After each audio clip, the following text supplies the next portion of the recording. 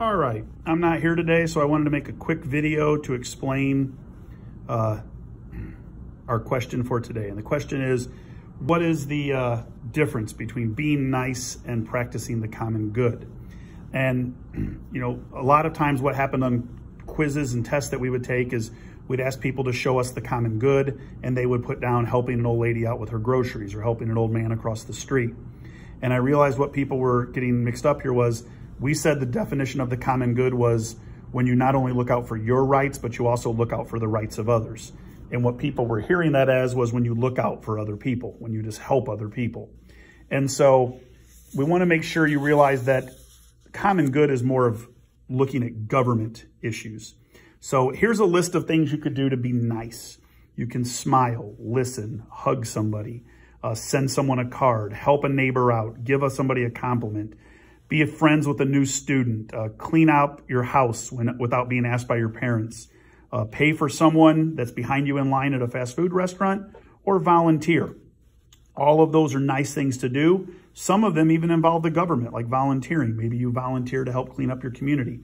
But none of those are actually looking out for someone else's rights. They might be looking out for someone else uh, just in terms of being friendly, but none of them are where someone is denying them their rights and you're standing up for their rights to make sure they're protected.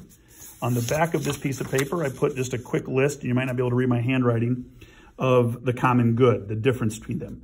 Um, protesting for a neighbor who has had their freedom of speech violated.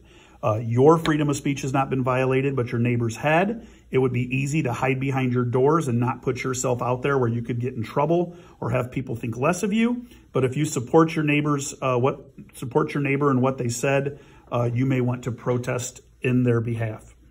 Uh, you could also write a letter to the editor, to the newspaper, or put something on social media that supports the building of a religious monument in your neighborhood, even though it's of a different religion. Maybe some people in your neighborhood don't support this religion. You don't have a problem with it. And even though it doesn't necessarily directly affect you because it's not your religion, you feel that everybody should have the chance to worship and you want to put that religious monument or building in your neighborhood. Another and the final way to show the common good is to call a Congress member about a piece of legislation that does not directly affect you. Um, whether it deals with a different uh, race or religion, maybe it deals with a different uh, sex or it deals with an issue that you don't feel um, would ever directly affect your life. Um, you feel that those who you love, those who you know, those who you're friends with, um, it does directly affect them. And it's up to you to stand up for their rights because those are just as important as your own. That's how the common good differs from being nice. Being nice is something that you do to be friendly, it's never going to come back to haunt you. There's really no repercussions. The common good, you're putting yourself out there. You're putting yourself on the line, but it's important to you because you want to fight to make sure everybody's rights are protected, not just your own.